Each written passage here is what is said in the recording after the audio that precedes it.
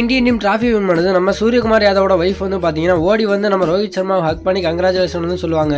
அதை பத்தி ஃபுல்லா பார்க்கலாம் அதாவது இப்போ நடந்து முடிஞ்ச டி டுவெண்டி வேர்ல்டு கப்ல வந்து பாத்தீங்கன்னா நம்ம இந்தியன் டீம் வந்து செம்மையா ப்ளே பண்ணி வெற்றியை வந்து பதிவு செஞ்சுட்டாங்க. அது மட்டும் இல்லங்க டிராஃபியும் வாங்கிட்டாங்க.